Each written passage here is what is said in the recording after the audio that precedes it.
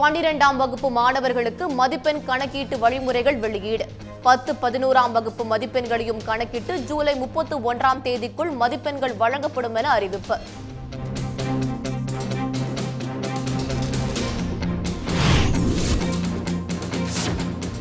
மதிப்பெண்கள் போதாது என்று கருதும் பிளஸ் டூ மாணவர்களுக்கு தேர்வெழுத வாய்ப்பு வழங்கப்படும். கொரோனா பரவல் முடிந்ததும் தனி தேர்வர்களுக்கு தேர்வு நடத்தப்படும் என்று அறிவிப்பு.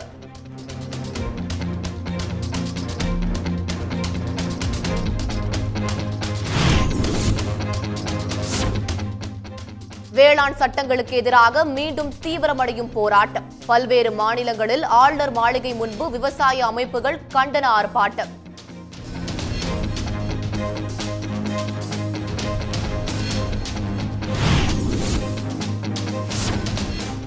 வேளாண் சட்டங்களுக்கு எதிரான போராட்டத்தை விவசாயிகள் கைவிட ஒன்றிய அரசு கோரிக்கை.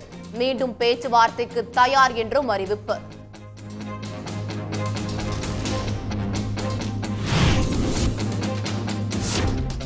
தமிழ்நாட்டில் இருபத்தி ஓரு மாவட்டங்களில் பெட்ரோல் விலை நூறு ரூபாயை தாண்டியது.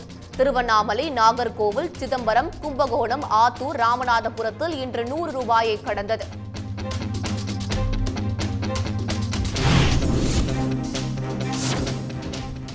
பெட்ரோல் டீசல் விலை உயர்வை கண்டித்து தமிழ்நாடு முழுவதும் கண்டன ஆர்ப்பாட்டம். இருசக்கர வாகனங்களுக்கு பாடை கட்டி ஊர்வலம்.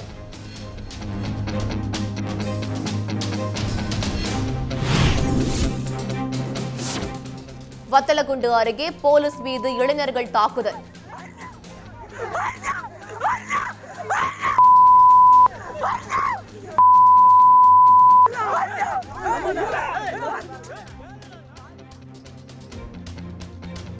வாகன சோதனையின் போது குடிபோதையில் அத்துமீறிய மூன்று பேர் கைது.